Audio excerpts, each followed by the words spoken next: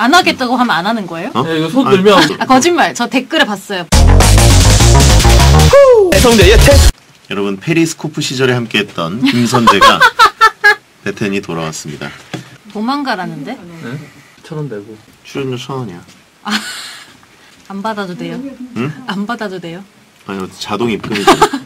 채팅창에 두 사람 오늘 합쳐서 출연료가 얼마냐고 물어보셨습니다. 아 오늘 장예원 아나운서가 출연료가 받았다고 베텐에 나왔을 때. 베텐 천 원 이렇게 네. 받았다고 당황했다고 그렇죠. 진짜 천 원이에요? 그럼요. 아니 그걸 모르, 모르세요? 네. 7천 원 아닙니다. 7천 원은 DJ일 때 7천 원을 주는 거고 출연자는 아니 아나운서의 기본 아닙니까? 저는 다른 프로그램 라디오에 출연할 때 항상 천 원 입금된 걸 많이 봐서 저는 아. 베텐 MC 해보고 게스트로는 어, 게스트는 안 한다. 어, MC MC나 DJ 외에는 안 한다. 아니 진짜 천 원인 건 몰랐어요. 그렇군요. 그래서 열심히 하려고요. 네, 저희 둘이 합쳐서 8천 원입니다.